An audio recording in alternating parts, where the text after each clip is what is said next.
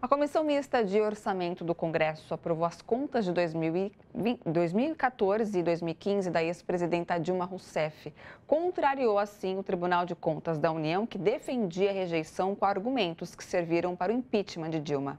A aprovação ocorreu na quinta-feira, último dia de funcionamento do Congresso antes do recesso. Apenas um parlamentar votou contra, o deputado bolsonarista Marcel Van Hatten, do Novo. Na mesma sessão, com voto contrário da deputada Fernanda Melchiona, do PSOL, foram aprovados os gastos de 2020 e 2021 de Jair Bolsonaro. Como as contas de Bolsonaro incluem verbas do orçamento secreto, a decisão pode blindá-lo de processos na justiça após deixar o cargo cargo e afasta o risco de ele ficar inelegível por oito anos.